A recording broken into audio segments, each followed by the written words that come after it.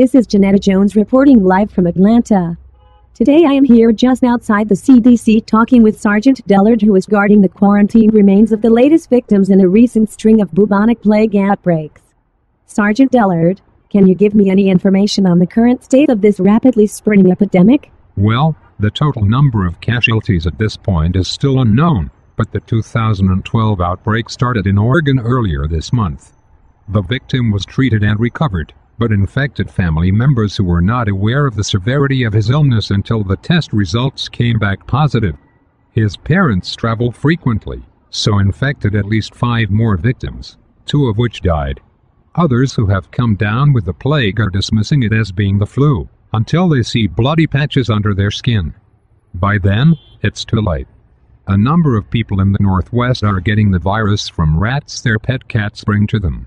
The disease is spreading fast, affecting both cats and their owners. So, you're telling me there's no way to really know how many are infected?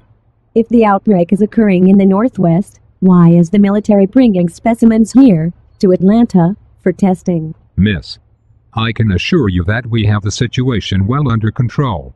You have nothing to worry about. Okay.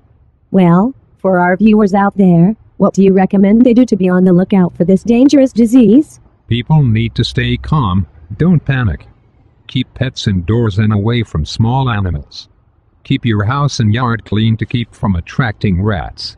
If you see pellets, set traps. Avoid handling dead animals, even if a pet drags them in. If any of these occur, and you start feeling sick, like with the flu, then go to the doctor and get checked out. If your pet starts acting strange, take them to a vet clinic, or call animal control. A lot of viewers have been calling in with much different stories they get off the internet or by reading online newspapers. What advice do you have that can calm this hysteria? I think it would be best if people avoid getting information online. Not all information there can be trusted. They need to be aware of the causes and symptoms of the bubonic plague, also known as the Black Death, but they need to get their information from a reliable source such as the CDC website. I see. Thank you, Sergeant Dellard, for the update. If you want more information, you can go to the CDC website at www.cdc.gov or stay tuned to this station for more details. This is Janetta Jones reporting live for CBS Atlanta. Good night.